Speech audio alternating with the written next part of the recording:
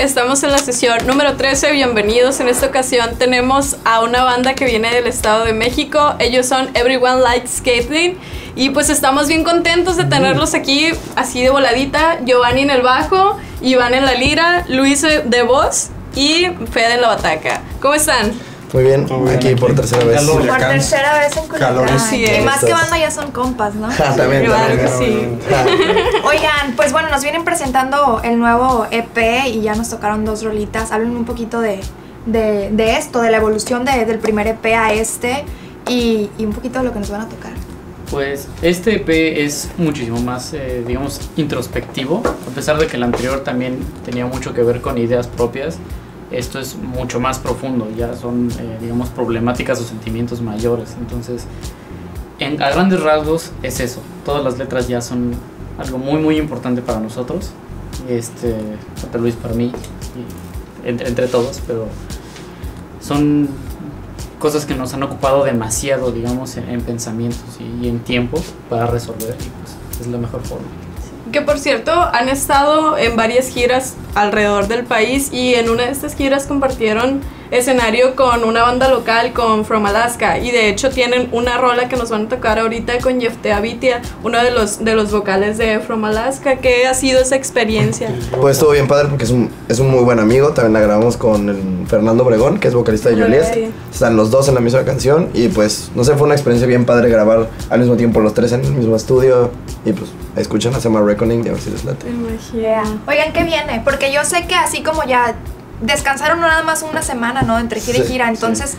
Y termina y ya tienen planes, ¿qué hay? Pues ahorita vienen shows grandes con bandas este, de, de otros países como Killswitch Engage, Memphis Mayfire, Attila, Architects de UK. eh, y pues tocar más aquí en el DF y pronto nos vamos a ir a, a el próximo, a principios del próximo año nos vamos a grabar nuestro disco Houston y unas giras por Europa también. Me dijeron que trae Así nuevo videito. Así es, está próximo a salir, es una canción, Siempre Fideles se llama, igual bastante importante en nuestro disco, es la que cierra, entonces esperamos que, que les agrade. Por ahí me enteré también que próximamente salen del país para grabar.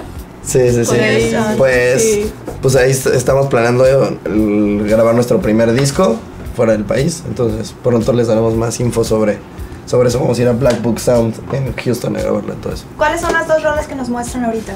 Ahorita va a ser Disperse I Am y va a ser Reckoning.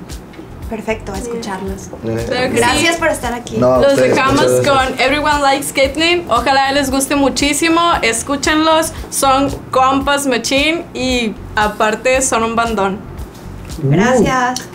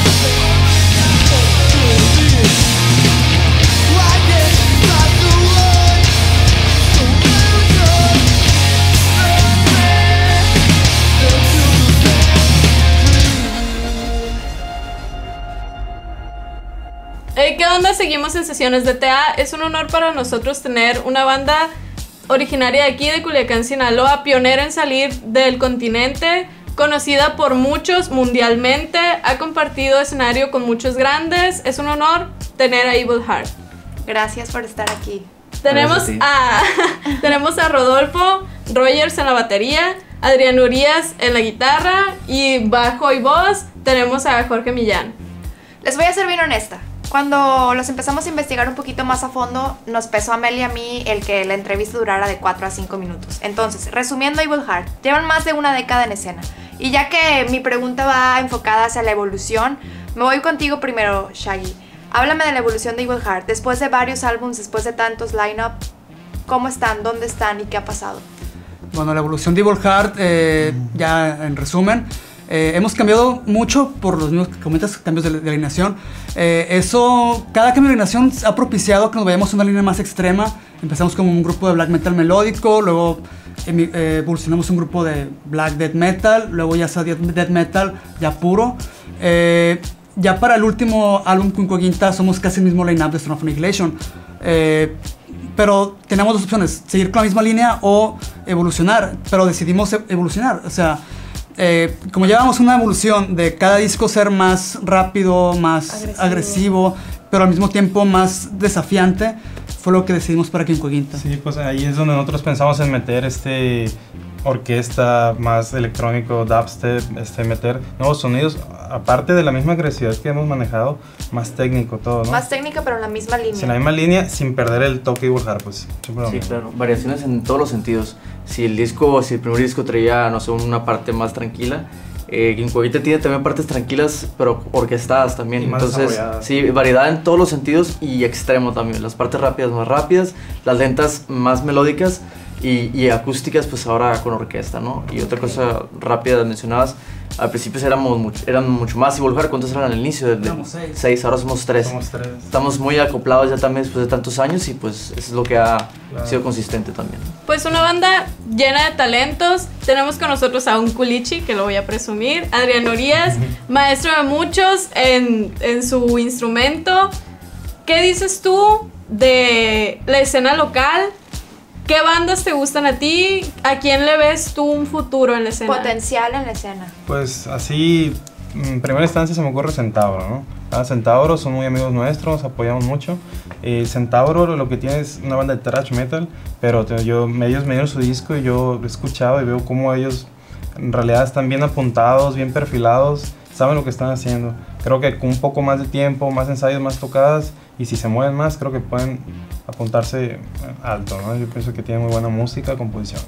verdad. Pues otra pregunta al aire. Una banda mexicana fuera de su género, la cual a ustedes les guste, que le puedan recomendar a la raza. ¿Qué es lo que escucha Evil Heart?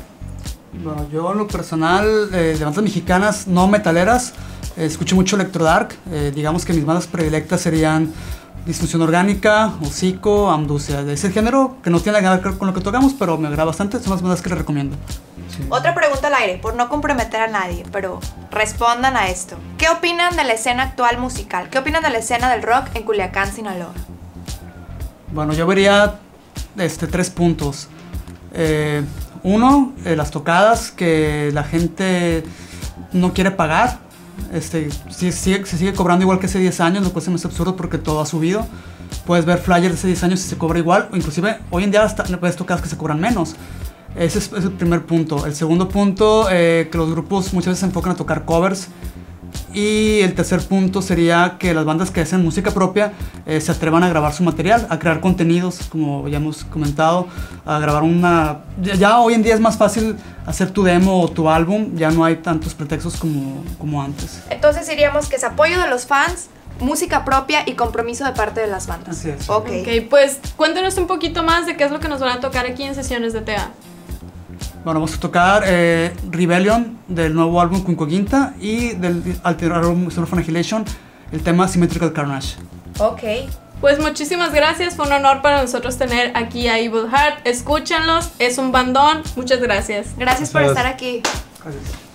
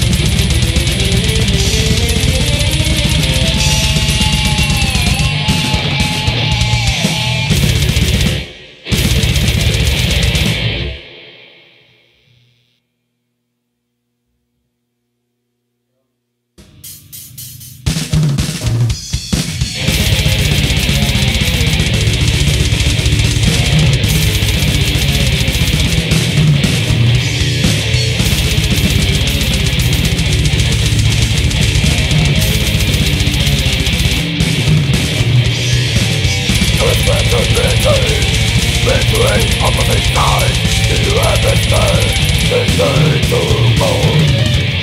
They explode with rain, with neon The fate of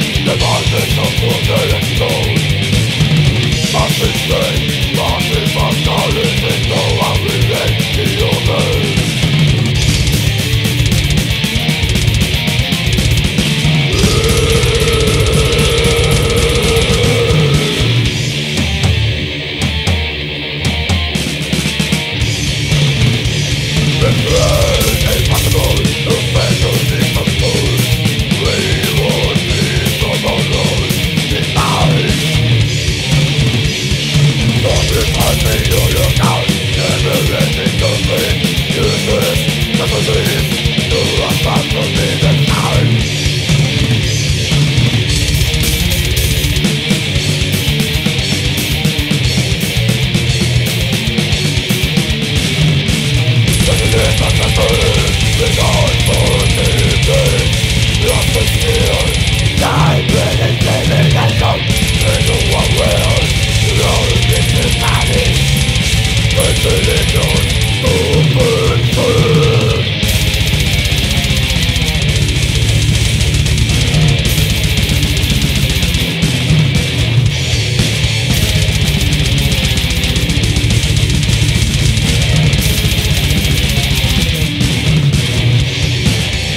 Let me be Between